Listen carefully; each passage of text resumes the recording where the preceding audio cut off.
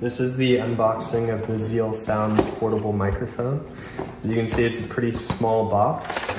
So these are all the items that come with it that are important. So first thing you need to do is just put the microphone through here. It's pretty easy, you just have to get around the little cords or strands there.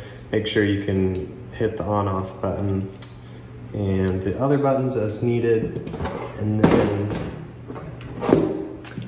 gotta make sure the stand works too. Um, you put this rod in here for the filter. Uh, make make that change very easily, and then you untwist these so that the rod can fit through. Um, and then once you get it to a spot where you like, you can just tighten those up. And then the last thing is you can charge, power it through the 5 volt in. Um, just plug it in over here and plug this into your computer and you're all set.